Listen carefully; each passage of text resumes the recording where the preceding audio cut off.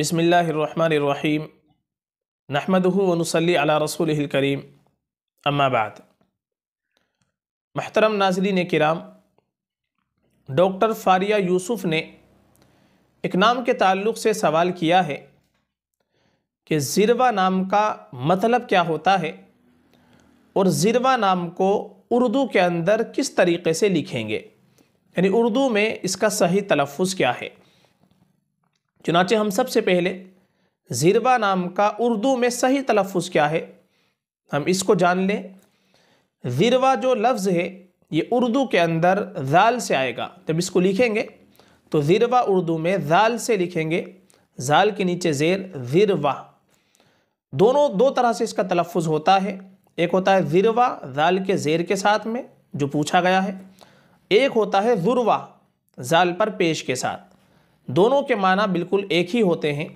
ज़िरवा भी नाम रख सकते हैं, ज़ुरवा भी नाम रख सकते हैं।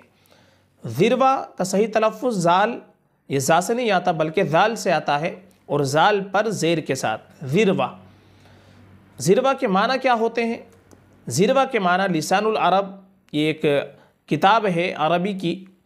उसके अंदर ज़िरवा के माना लिखे हैं, बुलंदी, बुलंद जगह, हर चीज़ का बुलंद हिस्सा। किसी भी चीज़ का ऊपरी हिस्सा।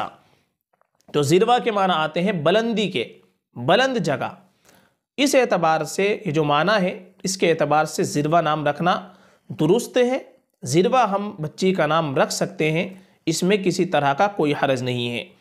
लेकिन फिर भी ज़्यादा बेहतर है कि अजवाज मतहरात, सहाबियात रज़ी अल्लाह मजमैन के नामों के ऊपर हम अपनी बच्चियों के नाम रखें। अलबत्त ये नाम रखना बिल्कुल दुरुस्त है, क्योंकि ज़िरवा या ज़ुरवा इनके माना सही है, बुलंदी, बुलंद जगह, किसी भी चीज़ का ऊपरी हिस्सा, बुलंद हिस्सा। इसके माना भी सही है, इस एतबार से ये नाम रखने में कोई हर्ज नहीं है, दुरुस्त नाम है। फ़कत वल्लम